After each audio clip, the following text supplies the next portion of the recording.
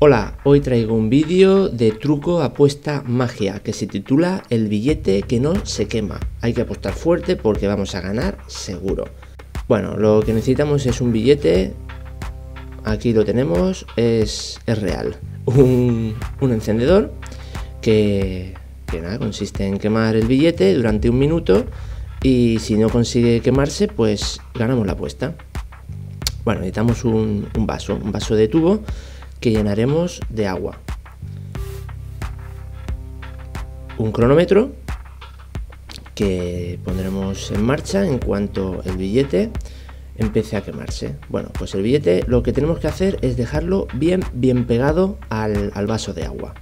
Muy, muy bien pegado. Toda la superficie del billete en contacto con el vaso de agua.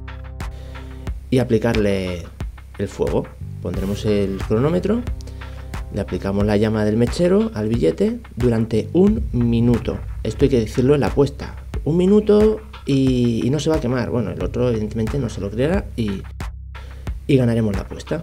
Ahí vemos, ha estado un minuto la llama del mechero en contacto con el billete y nada, podemos ver que el billete no ha sufrido ningún desperfecto.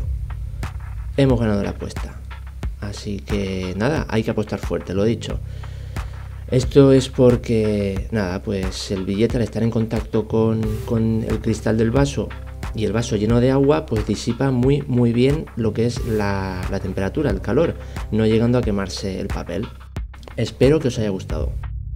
Bueno, y si te ha gustado el vídeo, suscríbete, dale a like, comparte y comenta. Si no, pues ya sabes, el ninja irá por ti. Oh,